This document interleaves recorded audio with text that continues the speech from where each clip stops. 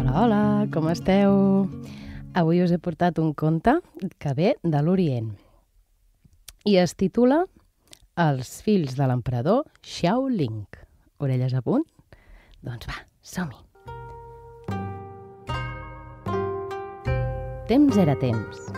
L'emperador Xiao Ling governava el més gran i poderós imperi d'Orient. Tenia tres fills, el gran i el mitjà, que eren tan avars i egoistes com ell. Es passaven el dia estirats a les còmodes butaques de palau, menjant sense parar i desitjant ser el futur emperador.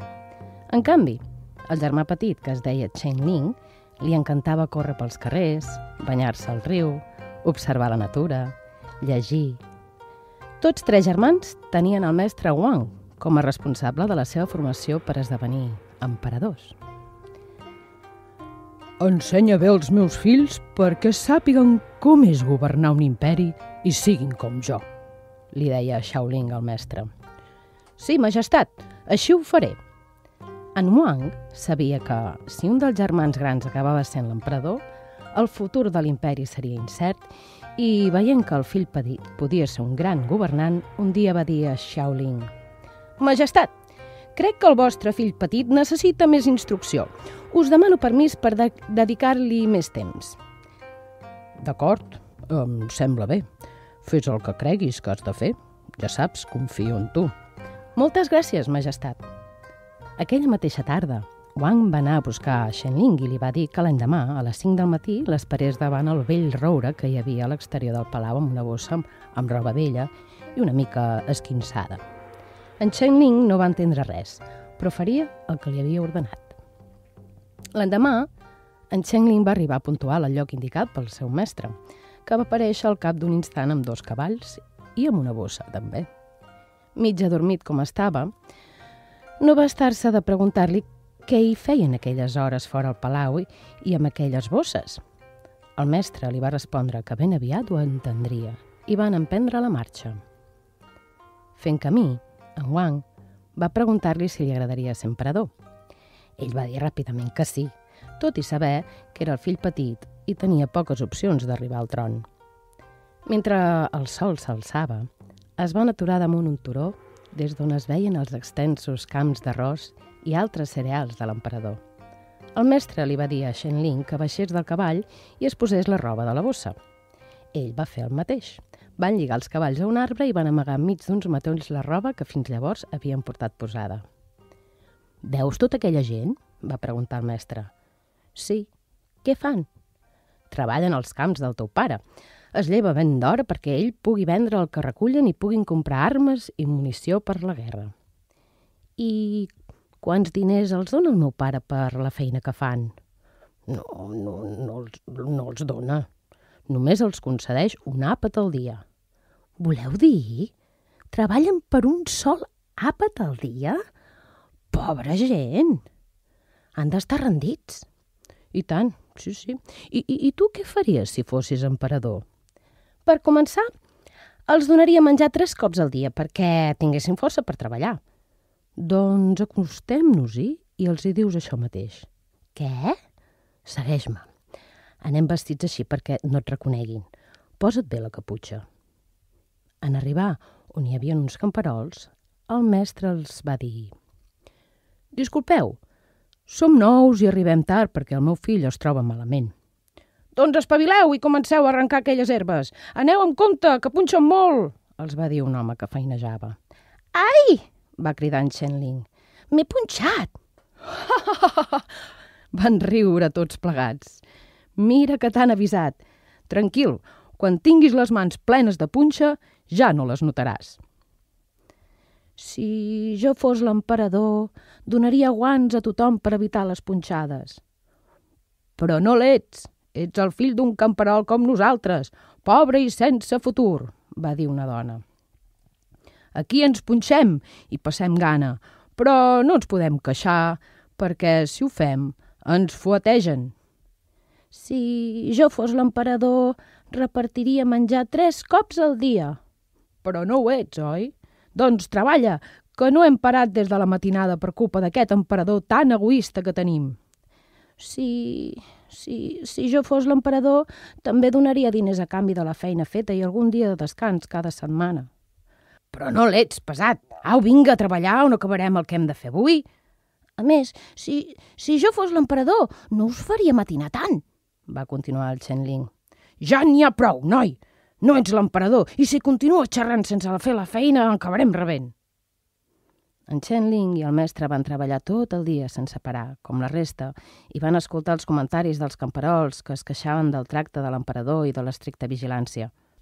A la tarda, amb l'excusa que en Chen Ling es tornava a trobar malament i tenia febre, els guàrdies el van deixar marxar cap a casa. Van caminar fins on tenien amagats els cavalls, els van muntar i de seguida que van poder es van aturar a prop d'una font. Llavors, en Wang va dir Ara en rentarem i ens tornarem a posar la roba del palau perquè ningú sospiti ni es pregunti d'on venim. Aleshores li va preguntar De tot el que has fet i has escoltat avui, què has après? Que, que no puc actuar amb el meu poble tal com ho fa el meu pare. És un egoista que només pensa en ell i en les seves guerres. Mmm, bona observació.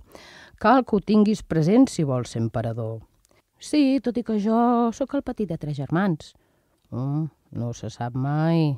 Per tant, cal que estiguis preparat per si un dia arribes a ser-ho.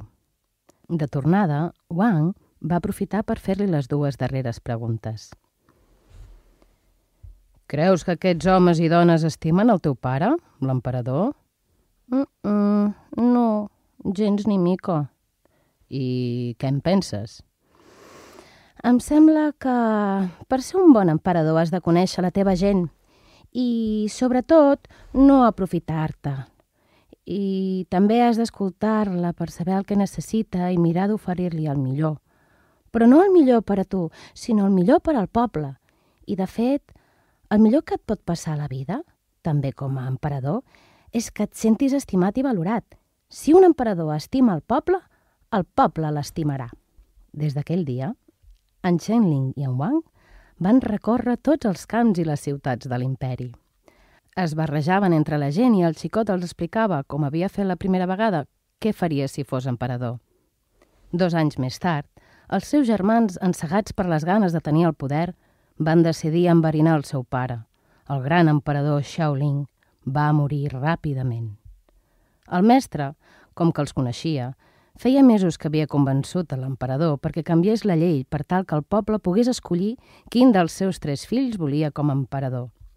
Li havia explicat que així el veurien com una persona noble i que es preocupava per ells. D'aquesta manera també s'estalviarien revoltes que no convenien gens, perquè calia la gent per cultivar i treballar les terres. L'emperador, després de pensar-s'ho molt, havia acceptat la proposta i així ho va deixar per escrit sense que ningú ho sabés, llevat d'ells dos.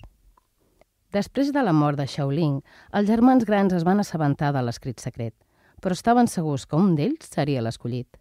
Es preguntaven qui escolliria el germà petit si passava llargues temporades fora de Palau i ningú no el coneixia. El dia de les eleccions va ser festiu. Els tres germans es van col·locar davant l'entrada de Palau per tal que tots els ciutadans els poguessin veure i sentir bé. Els germans grans, amb vestit cars i plens de pedres precioses, van prometre que treballarien conjuntament per continuar la tasca del pare, fent guerres i conquerint nous territoris. El germà petit, vestit amb senzillesa, va aixecar les seves mans, plenes de ferides a treballar la terra. Els va dir que, si l'escollien, a partir d'aquell dia les seves vides canviarien. No s'haurien de llevar tant d'hora, tindrien tres àpats al dia i descans setmanal. A més, rebrien un sou per la seva feina. Els milers de ciutadans van quedar sorpresos i un d'ells va exclamar «És el noi que treballa amb nosaltres! És ell!» De seguida es van sentir crits d'alegria i ovacions cap al germà petit. Les votacions es van decantar clarament cap a ell i des d'aquell dia, Shen Ling va ser proclamat el nou emperador. En Chen Ling va complir les promeses que havia fet i va enviar els dos germans grans a treballar als camps d'arròs. I conta contat, aquesta història de l'Orient ja s'ha acabat. Desitjo que us hagi agradat. Moltes gràcies i fins a la propera.